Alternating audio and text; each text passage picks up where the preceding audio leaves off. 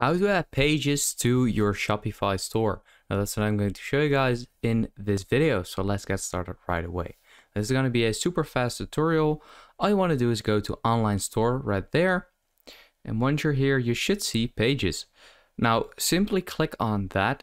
And here you either already have a couple pages or um, uh, yeah, you don't. So what you can do is just click on add page and simply add a page. So you can just add a page, something like home maybe, and here um, give a little explanation what the page is about maybe.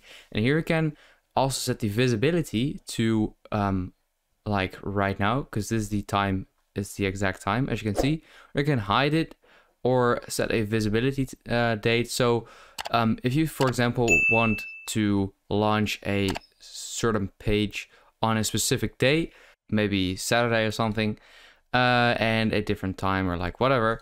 Then you can do that if you want to. You can also go to theme template right here, default page or contact page, um, edit the website SEO. So, you know, you can do all of this. And once you've done all this, you can simply just, um, you know, uh, click on save and that will save the page. And then if you go to pages again, you can see that you now have a home page and you can add even more right there.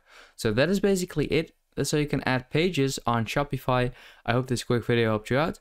Please leave a like and let me know in the comments if it worked. And I'll see you next time. Have a good day.